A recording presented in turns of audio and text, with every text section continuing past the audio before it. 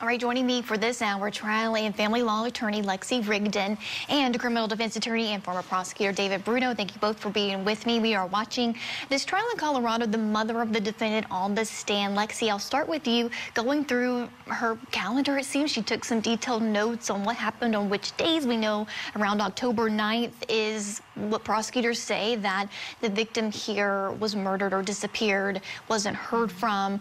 Uh, so how do you believe they're doing in making it clear that he possibly was on the property around that time. As we know, he allegedly buried the body there.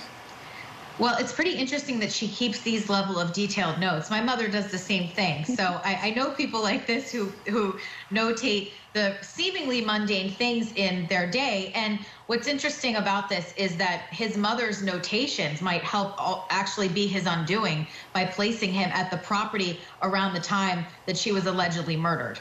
Right, and we know it took about a decade or so, but they did find uh, the victim's remains there. Uh, where they, her, his mother also, David, testifying about they would board horses there. They owned horses and they would bury them in certain spots on the property, and that's where, of course, uh, the victim's body was found nearby. So also that helping complete the picture here for prosecutors to tie it together, David. Yeah, but this is painful to watch, and it's really unnecessary, to be quite honest. I mean, the defense opened up to the fact that, yes, he did something wrong. He took the body, he obstructed justice, and he buried the body. This issue comes down to causation. It's going to be interesting to see what the forensic pathologist says in his or her testimony about how they could prove the cause of death because in the end, this is essentially what this case comes down to. So I don't think it's really necessary that she goes into these records the way that they are doing here.